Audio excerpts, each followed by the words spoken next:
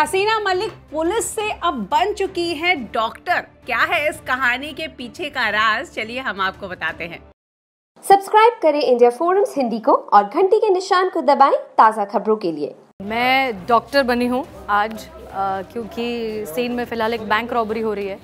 और वहाँ अंदर किसी की तबीयत खराब हुई है तो एज डॉक्टर डिस्गाइस लेके मैं अंदर जा रही हूँ। हम आपको लेकर आए हैं मैडम सर के ऑन लोकेशन पर सेट पर, जहाँ बैंक में हो गई है चोरी। और वहाँ काम करने वाले सभी वर्कर को इन चोरों ने बना लिया है बंदी। वेल इन्हीं सबके साथ साथ इन्हें बचाने आई है नैना माथुर भी, पर अब फंस चुकी है बुरी तरह यहाँ पे। और ऐसे में मैडम सर यानी कि हसीना मलिक ना पहुँचे, कहीं वारदात हुई हो, भला ऐसा कैसे हो सकता है? जी हाँ बैंक में सबको इन चोरों से बचाने पहुँच गई हैं हसीना मलिक, लेकिन एक नए अवतार में।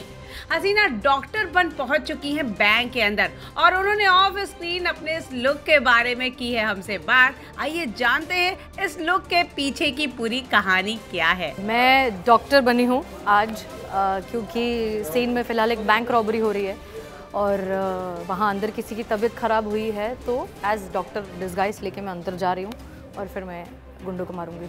हाँ क्योंकि पुलिस वाली बनकर जाऊँगी तो मुझे वहीं उड़ा के ख़त्म कर देंगे।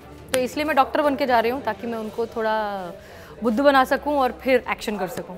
बहुत रेयरली ऐसा होता है कि हमें ऐसा कुछ मौका मिलता है करने को। एंड uh, हमने बहुत सारे एक्चुअली डिस्गाइज लुक किए भी हैं it's always fun so I think this is probably the second time शायद मैं डॉक्टर बनी हूँ। इसके पहले बनी तो हूँ डॉक्टर एंड मज़ा आता है।